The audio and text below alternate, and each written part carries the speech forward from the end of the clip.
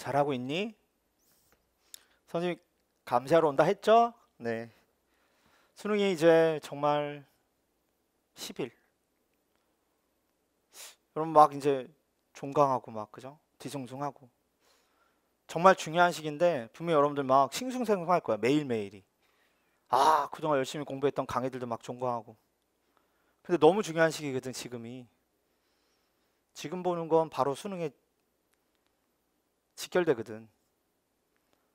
그러니까 선생님이 감시하고 있잖아요. 제발. 싱숭생숭 이러다가 그냥 허송성 막 하다 보니까 오, 하루가 지나가 있어. 몽둥이. 응? 몽둥이. 그러지 말고요. 마무리. 정말 중요한 시기니까. 선생님 항상 옆에서 이렇게 감시하고 있다는 걸 잊지 말아 달라고. 어?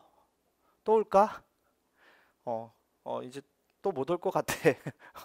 못 올 것 같은데 어 아니 올게. 어, 올게. 음. 페어일로 또 돌아온다. 페어일로 또 돌아올게요. 아시겠죠? 어. 매분 몇 초가 아까우셔야 돼요.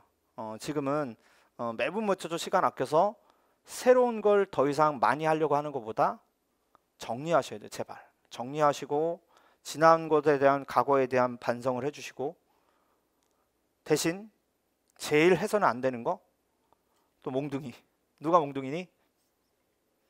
눈으로 읽는 애들 그죠? 아 선생님 저 다 한 거라서 이제 정리할 거거든요 눈으로 후 그죠?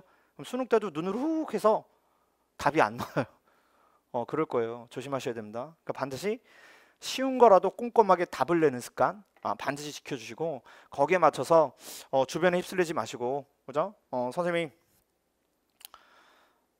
제발 제발 그죠? 어, 수험생활 절대 길게 하는 게 아니에요.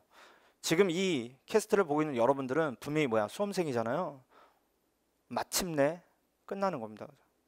그죠? 어, 올해로 끝날 거예요. 그죠? 올해로 끝난다는 생각을 가지고 남은 10일을 최선을 다하세요. 아시겠죠? 어, 빼올려 돌아올게요. 빠빠이.